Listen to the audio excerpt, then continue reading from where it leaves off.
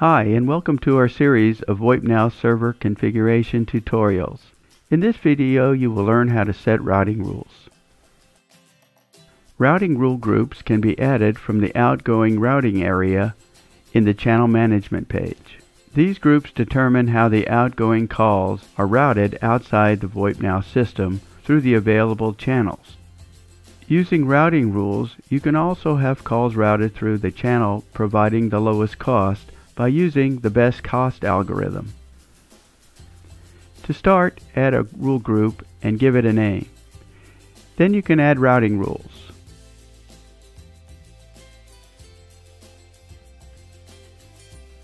VoipNow lets you determine four routing rule types, which are route through, process target number, portability check, and block. I will explain each of these as well as show you how to use them. First, let's cover the process target number rule. This type of rule can be used to perform complex operations on a number such as delete or insert digits, add a prefix, and more.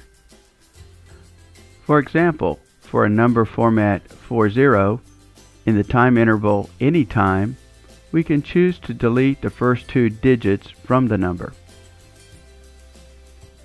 Then we set a route through rule, which gets calls directed through a particular channel while also offering the complex operations available for process target number rules.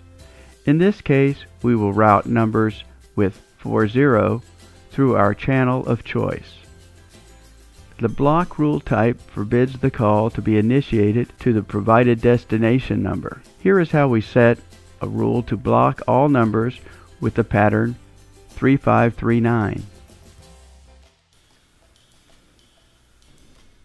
What's important to know is that the rule's position in the group defines the order in which VoipNow matches the routing rules.